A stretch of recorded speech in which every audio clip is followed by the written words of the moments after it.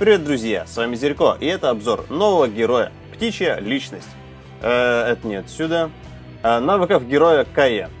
Итак, на тестовый добавили некоего персонажа, который по классификации танк саппорт. Но почему прописан класс саппорта, мне не ясно. Смотрите сами. Пассивка. При получении урона от героев птичья. Да блин. Кая получает ускорение в 40% на 1 секунду с КД 5 секунд. Первый навык. Вокруг Каи появляется электрический обруч, который наносит урон противнику дважды, при увеличении и уменьшении. Враг, получивший урон, замедляется, а если вблизи только один противник, образуется статическое электричество, которое бьет ближайшую цель с возрастающим уроном. Если противников несколько, статика не срабатывает. Возможно баг.